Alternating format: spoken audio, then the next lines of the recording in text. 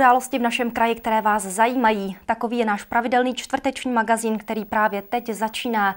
Já vám přeji hezké odpoledne a nabízím přehled dnešních reportáží. Na jihu Čech vyrostou nové cyklotrasy. Zdravotní pojišťovny záchrankám nepřidají, mají je zachránit kraje. Výstava Rok růže se přestěhovala z Prahy na krajský úřad v Budějovicích.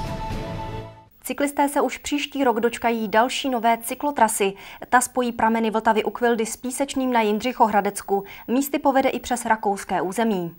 250 km dlouhá cyklistická cesta doplní dvě páteřní, Vltavskou a Otavskou. Nadaci jeho české cyklostezky ale čeká ještě mnoho práce, například dohody s vlastníky pozemků, kudy cesta povede. Probíhá eh, takzvaná etapa vyhledávací, ta je v závěrečné fázi a jejím úkolem je vůbec tu linii v mapě vytipovat. Jižní Čechy mají nejrozsáhlejší síť cyklistických tras v celé zemi, měří téměř 5000 kilometrů. Největší frekvence je na té známé České Budějovice hluboká dál, teď dál na Purkarec. Cyklisté si kvalitu stezek většinou pochvalují, připouští ale, že frekvence cyklistů i bruslařů je na některých stezkách na hraně únosnosti. Jezdí se tady po dobře, no, docela.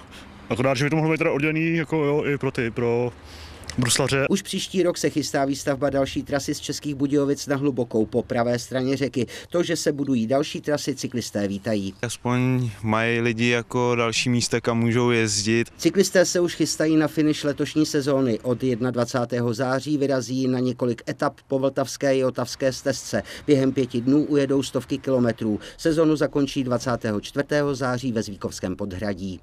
Zdravotní pojišťovny se nedohodly se záchrannými službami, včetně té jeho české, na vyšším financování v příštím roce. Přestože náklady rostou, záchranky více peněz nedostanou. Podle státu mají navýšení doplatit kraje.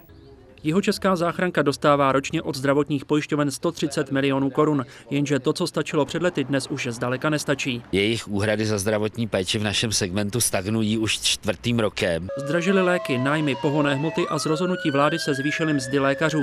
Provoz záchranky platí čím dál víc kraj. Za posledních šest let stoupl rozpočet záchranky o 80 milionů a přitom je třeba říct, že to jsou většinou osobní náklady, které na nás dopadají nějakými rozhodnutími vyšších orgánů. Vláda má ve vedení pojišťoven zástupce více než 130 milionů, ale jeho české záchrance nezaplatí. Navýšení rozpočtu má zajistit opět kraj. Letos už vydal 239 milionů. Stát vlastně naprosto rezignuje na finanční podporu záchranných služeb. Stát přenáší mnohem větší díl odpovědnosti opět na kraje. Z přístupu zdravotních pojišťoven je rozladěna i veřejnost. Je to blbý podle mě. To víte, když si tam rozdávají takový platy jo, 100 tisícový a tak dále, no pak nemůže být na tohle. Domníváme se, že jediný, kdo skutečně může něčím pohnout, je asociace krajů. Její komise ještě chtějí jednat, jeho Češi ale nemusí mít obavy. My jako kraj uděláme všechno pro to, abychom naši minimálně jeho českou záchrannou službu drželi nad vodou. Tyto peníze pak ale mohou chybět na investice v dopravě a školství.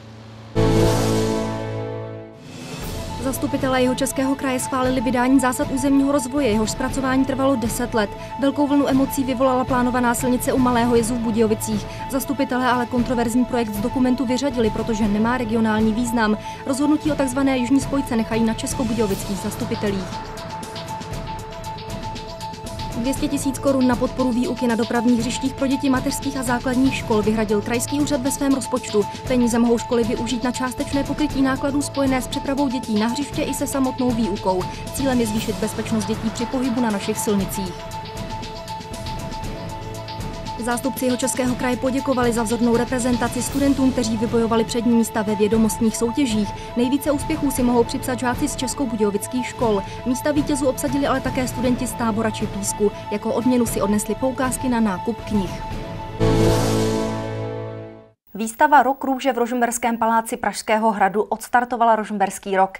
Po devíti měsících, kdy navštívilo přes 400 tisíc návštěvníků, se přestěhovala na krajský úřad v Českých Budějovicích. Průvodcem rožmberskou historií byl sám Petr Vok. Lidé rožmberský, lidé jeho český, i vy ostatní přišetří sem uctění a slávě slavného domu rožmberského. Buďte co nejsrdečněji pozdravení a vítání. Výstava Rokrůže zahájila Rožmberský rok a od prosince zdobila palác Pražského hradu. Za devět měsíců ji navštívilo 400 tisíc návštěvníků. Chtěli jsme ji přivést i sem na jich Čech, protože právě jeho český kraj si připomíná letos výročí od smrti posledního Rožmberka. 20 panelů naznačuje hlavní témata, o kterých průvodce Petr Vok dychtivým posluchačům vyprávěl. Nejprve je seznámil s historií slavného rodu. Dozvíme se o slavných předcích, popovídáme si o způsobu života, o způsobu odívání. Při toulání minulostí líčil Petr Vok chvíle příjemné i chmurné. Nejčernější kapitolou jeho života byl spor s rybníkáři. Spouru rebelů potlačili až desítky poprav. A na důkaz, že rozkaz můj byl vykonán, chci, aby hlavy těch odsouzenců na zámek byly dopraveny. Putování rožmberskou historií nadchlo všechny přítomné. Moc pěkný to bylo. Já ještě si to budu jednou prohlídnout. Moc se mi to líbilo, všechno mě zaujalo. Škoda, že to nebude příští rok zase něco podobného. Výstava potrvá do 19. září, pak se přestěhuje na zámek do Třeboně. Problému financování zdravotní záchranné služby se teď budeme věnovat i v následující diskuzi s ředitelem jeho české záchranky Markem Slabým. Já se s vámi loučím a přeji hezký zbytek dne.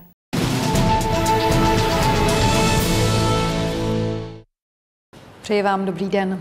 Kolik zaplatí pojišťovny za péči, kterou nám poskytují lékaři příští rok? O tom se rozhoduje právě teď.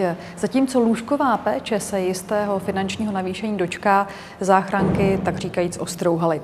Tedy při jednání na konci srpna. Co to znamená, jak se to může dotknout péče záchranek tady v jeho českém kraji? Budu se ptát Marka Slabého, ředitele zdravotnické záchranné služby jeho českého kraje a také vlastně šéfa Asociace záchranek České republiky.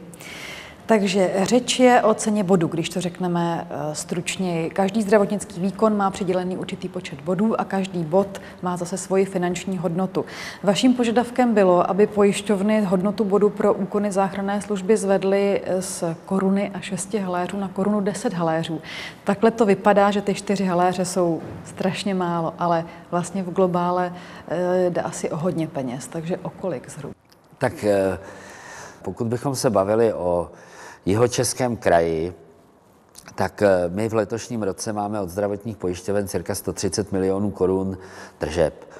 Pokud by došlo k tomu navýšení, tak se dostaneme řádově asi na 5 milionů korun. Je pravda, že vy hospodaříte ročně s příjmy zhruba 364 miliony korun. Jak jste říkal, tak od pojišťovny to je tak asi třetina těch peněz. Ano. Kraje dávají velkou část, doplácejí spoustu peněz a celkem už bych řekla, že třeba ani nemají odkud brát, nebo asi nebudou ochotny dál navyšovat tu tak. částku, kterou vám dávají. My teď v podstatě trošičku bojujeme v souladu s kraji, protože jsme na jedné lodi, oni jsou naši zřizovatelé. Ono to vypadá velice úžasně, jak veliké jsou to peníze, ale když si uvědomíme, že 80 až 85% této částky jsou mzdové a osobní náklady, tak zase víme, že těch 20% už není tolik a ty vlastně těch 20% potřebují nájmy, energie a tak dále a tak dále. Navíc se domníváme, že by ty zdravotní pojišťovny měli zaplatit alespoň náklady, které máme skutečně na ten výkon a ne se pohybovat někde na 60-80% našich nákladů, které vydáme, ale které nám ta pojišťovna nehradí.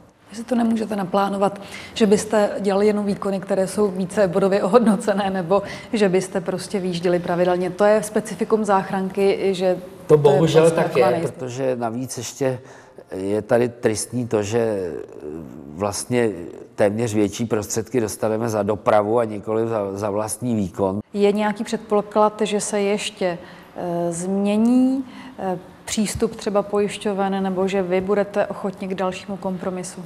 Proběhly dvě fáze toho přípravného řízení nebo toho dohodovacího řízení. Čeká nás fáze závěrečná, poslední.